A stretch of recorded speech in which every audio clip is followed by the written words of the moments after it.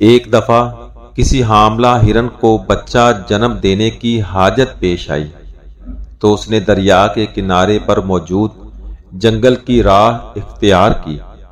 फिर यूँ हुआ कि अचानक मौसम खराब हो गया, आसमान से बिजली गिरी तो जंगल में आग लग गई।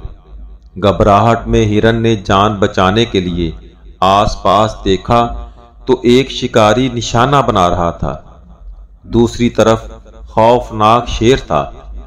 हिरन को उलझन हुई कि इस फैलती हुई आग में जलकर मरना होगा, या दरिया में डूबकर जान देनी होगी, या शिकारी मार देगा, या फिर शेर अपनी भूख मिटाने के लिए नवाला बना लेगा।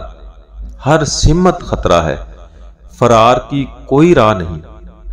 उस वक्त हिरन के इख्तियार में जो था, वो करने का फैसला किया। यानी पैदाइश पर तवज्जो मजकूर की। फिर ऐसा हुआ कि शिकारी ने निशाना लगाया तो आसमान पर बिजली चपकी उसकी आँखें अचानक बंद हो गईं और तीर शेर को जा लगा। जोरदार मी बरसा, जंगल में फैलती आग एक दम बुझ गई। हिरन को उसके खालक ने बचा लिया।